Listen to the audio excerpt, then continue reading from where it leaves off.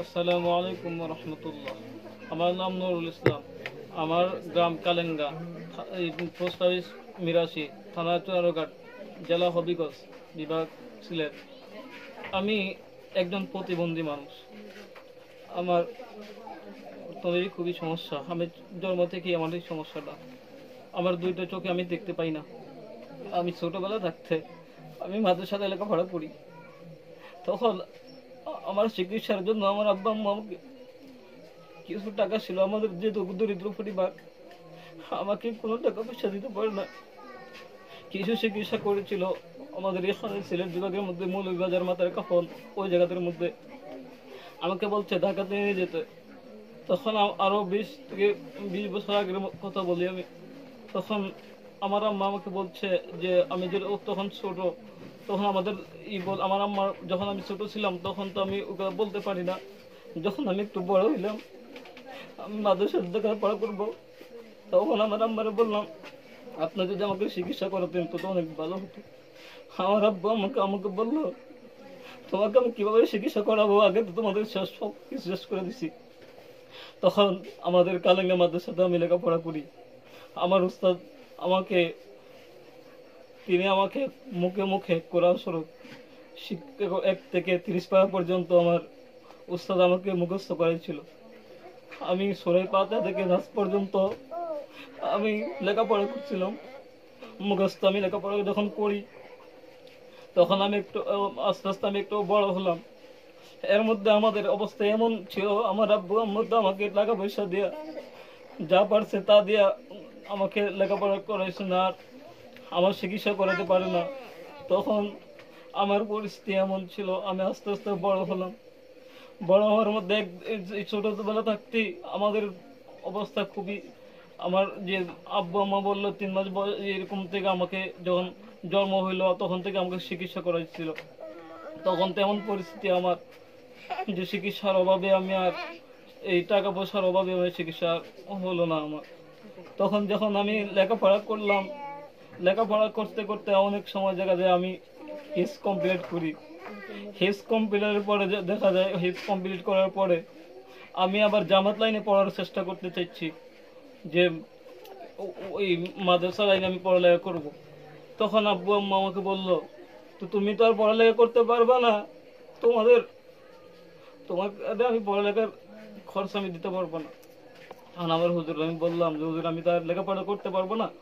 তখন আমি আর আপনার মুখস্থ কোরআন শরীফ শিখ- শিখলাম শেখার পরে তখন আমি কি করলাম মাদ্রাসাতে পড়লাম। পড়ার পরে এখন আমি বড় হলাম তো আমার দুইটা বাচ্চা আছে আমি বিয়ে করেছি। এই দেখতেছেন উনি আমার ওয়াইফ আচ্ছা তো এই যে আপনি কি এর পরে আর কখনো মানে চিকিৎসা করানোর জন্য চেষ্টা করেছেন কিনা? চেষ্টা করেছি অনেক কিন্তু অর্থনৈতিক দুর্বল কারণে আমি তো বাবা মায়ের কি কোনো সয় সম্পদ নেই? যে না আমরা তো সরকারি জায়গাতে থাকি আমাদের কোনো সম- সম্পদ নেই বলতে চলে। মানে সরকারি জায়গায় কেন থাকেন? আপনাদের কোনো পিতৃ কোনো সম্পদ নেই? জি না। মানে আপনার পূর্বপুরুষ থেকে কি সরকারি জায়গায় থাকে? যে আমরা সরকারি জায়গাতে থাকি যে আমাদের দাদা এরা ছিল খুব দরিদ্র এই জন্য আমরা সরকারি জায়গাতেই থাকি। আচ্ছা তো আপনি তাহলে আর চিকিৎসা করানোর জন্য কোনো চেষ্টা করেন নাই চেষ্টা করতে চাইছিলাম কিন্তু হয় নাই। আচ্ছা তো এই যে আপনি সাথে আপনার ওয়াইফ দেখছি দুটি সন্তান দেখছি তো আপনার সন্তানরা তো আল্লাহ রহমতে মানে পরিপূর্ণ সুস্থ। সুস্থ আপনার ওয়াইফ কি মানে আপনি যেমন আপনি তো চোখে দেখেন না তো আপনার ওয়াইফ কি পরিপূর্ণ সুস্থ? যে উনি পরিপূর্ণ সুস্থ আলহামদুলিল্লাহ। ওনার দেশের বাড়ি কোথায়? ওনার দেশের বাড়ি আমার এলাকাতেই।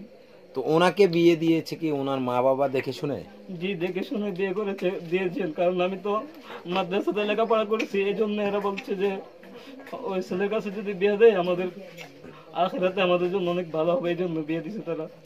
আচ্ছা মানে আপনাকে তাদের ভালো একটা সুস্থ মেয়ে বিয়ে দিয়েছে আখেরাতের জন্য তাই না? জি। আচ্ছা তো আপনার ওয়াইফ কি মানে তাহলে আপনার সংসারটা কীভাবে চলে? আমার সংসারটা চলে। এভাবে মানুষ আমাকে মোটামুটি হালকা একটু সহযোগিতা করে। যা আমাদের অনেক সময় হয় না, অনেক সময় বয়স থাকতে হয়, অনেক সময় না খেয়ে থাকতে হয়। এরাও আমার কাছে অনেক কিছু চায় আমি দিতে পারি না। আমার পরিস্থিতি এমন। আর আমি এখন মাদ্রাসাতে লেখাপড়া করে আমি মাদ্রাসাতে বেতন পাই মাত্র এক হাজার টাকা বেতন পাই।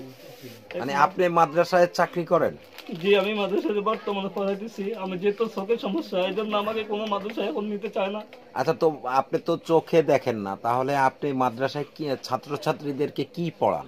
আমি ছাত্র ছাত্রীদের নুরানি বিভাগে পড়াই মাস আলা যে মাস আলার যে বসারা তিন প্রকার এই এগুলো মাসালাগুলো আমি পড়াই হাদিস শরীফ মুখস্থ যে চা পঁয়ষট্টিটা হাদিস আচ্ছা দুই একটা মশালা একটু বলেন তো।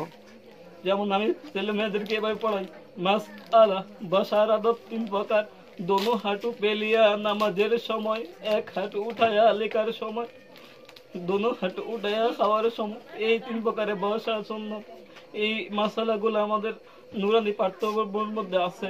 এই জন্য এদের মুখস্থ আছে এই জন্য আমি এগুলো পড়াইতে পারি এই জন্য আমি আর হাদিস পড়াই যেমন এক নম্বর হাদিস শরীফ قال النبي صلى الله عليه وسلم أخلص دينك يكفيك العمل القليل এরপরে পড়াই কালিমাই তৈবা লা ইলাহা ইল্লাল্লাহু মুহাম্মাদুর রাসূলুল্লাহ বা ছোট পোলা মা- মেয়ে ছোট ছেলে মেয়েদেরকে আমি ওইভাবে পড়াই আচ্ছা মুখস্থ মুখাস্ত পড়ান আর কি জি তো এই আপনি কি কোনো প্রতিবন্ধী বা ভাতা পান কিনা প্রতিবন্ধী ভাতা আমি পাই।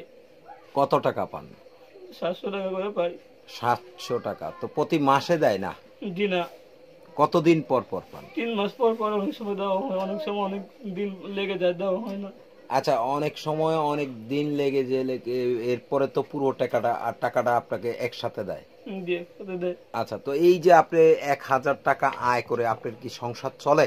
জি না আমার এক হাজার টাকা দিয়ে চলে না ওরা তো আচ্ছা তো আমরা একটু আপনার ওয়াইফের সাথে কথা বলি। আসসালামু আলাইকুম। আসসালামু আলাইকুম একটু জোরে কথা বলুন। আসসালামু আলাইকুম। আসসালামু আলাইকুম। ওয়ালাইকুম আসসালাম ভালো আছেন? জি ভালো আপনার নাম? আমার নাম নাজমা আক্তার। নাজমা আক্তার তো নাজমা আক্তার আপনি তো আল্লাহর মাসাল্লাহ পরিপূর্ণ একজন নারী মানে পদ্মাশীল নারী। তো আপনার এই যে মানে অন্ধ স্বামী দেখে বিয়ে বসছেন আপনি তো আপনার বাবা মা দেখে শুনে তো আপনাকে বিয়ে দিয়েছে না তা আপনি কি আপনার নিজ ইচ্ছে বিয়ে বসেছেন ওনার কাছে? কেন ওনার কাছে নিজ ইচ্ছায় বিয়ে বসার উদ্দেশ্যটা কি আপনার উনি একজন হুজুর মানুষ এই জন্য আমি বিয়ে করছি উনি একজন হুজুর মানুষ এই জন্য আপনি ওনার কাছে বিয়ে বসছেন। আপনার বয়স কত এখন? এখন বয়স বিশ। তো আপনার কত বছর বয়সে আপনার বিয়ে হয়েছে? সতেরো বছর। আপনি কি লেখাপড়া করেছেন? জি অল্প লেখাপড়া কতটুকু করেছেন? আচ্ছা তো মাদ্রাসা লাইনে পড়ছেন না? জি না স্কুলে স্কুলে? আচ্ছা তো এই আপনার স্বামী আপনি কি কোরআন জানেন? জি না তো আপনার স্বামী তো চোখে দেখে না তিনি মুখাস্ত জানে। তা আপনি কি মানে কোরআন শি- শিখার ইচ্ছে নাই আপনার? থাকা সত্ত্বেও কেন শিখেন না? শিকার কি ইচ্ছে থাকলে তো মানুষ শিকার চেষ্টা করে। চেষ্টা করেন? জানি। আচ্ছা যতটুক জানেন বলতে কি? নামাজ জানি। আচ্ছা নামাজের সুরা টুরা সবই জানেন? কিছু জানি আচ্ছা তো এই আপনার মানে আমাদের এই ইউটিউব চ্যানেলে আসার মূলত উদ্দেশ্যটা কি আপনাদের? এটা একটু বলবেন?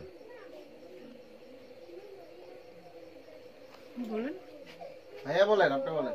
আমি ইউটিউব চ্যানেলের মধ্যে আসার উদ্দেশ্য এভাবে।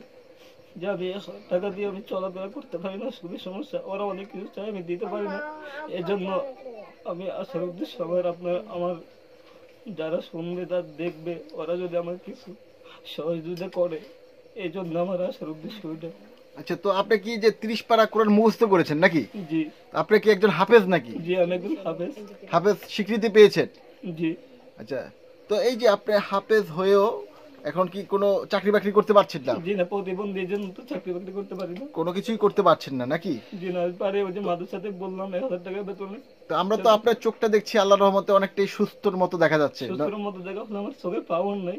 পাওয়ার নাই। এটা কি চিকিৎসা করলে কি আসলে ঠিক হবে কিনা ওদের আমাকে ডাক্তার বলছে যে একবার বলছিল চিকিৎসা করলে ভালো হবে কিন্তু এখন তো আমার অর্থনৈতিক দুর্বল এখন আমি তো আর মানে কোনো পরীক্ষা নিরীক্ষাই করতে পারছেন না। বর্তমানে কোনো পরীক্ষাই করতে পারতেছি না। অর্থনৈতিক একই সমস্যা। আচ্ছা আসলে কেউ যদি আপনাকে এই যে চিকিৎসার জন্য একটু সহযোগিতা করতে চায় কীভাবে আপনার সাথে যোগাযোগ করবে একটু? আপনার যোগাযোগের মাধ্যমটা কি? আমি তো প্রতিবন্ধী মানুষ। আমার একটা মোবাইল চালাই যে আপনার কি সেট আর কি বাটন সেট ওগুলো চালাই বলেন নাম্বারটা বলেন আপনার। Zero one seven two nine six seven four one two three. আবার বলেন। Zero one seven two nine six seven four one two three. এই যে এই যে আমাদের দর্শক যারা দেখছে তাদের উদ্দেশ্যে আপনার কি বলার আছে? আমার উদ্দেশ্য আছে বলার আছে এভাবে যে আল্লাহ রব্বুল আলমিন যেন সবাইকে সুস্থ রাখে আমার মতো আল্লাহ রব্বুল আলমিন যেন বানায় না। আর তারা যেন আমাকে দেখে একটু সহযোগিতা করে আল্লাহর যদি কোনো সহযোগিতা করে আমি খুব উপকৃত হবে। আমার একটা বাড়ি পর্যন্ত নাই ভাই। আমি থাকি আমার নানার বাসা। নানাদের যে যেখানে থাকি, এখানে ভাঙ্গা চোরা একটা ঘর ঘর মতে আমার ঘরের মধ্যে পানি পড়ে। এমন পরিস্থিতি আমার ভাই। তো সম্মানিত দর্শক, আপনারা বুঝতেই পারলেন আসলে তার জীবনে কতটা কষ্ট। তো তার কষ্টের কথাগুলো শুনে যদি আপনাদের বিন্দুমাত্র মায়া লেগে থাকে তার জন্য, তো আপনারা কেউ যদি ওনার পাশে একটু দাঁড়ান, তাহলেই আমাদের সার্থকতা।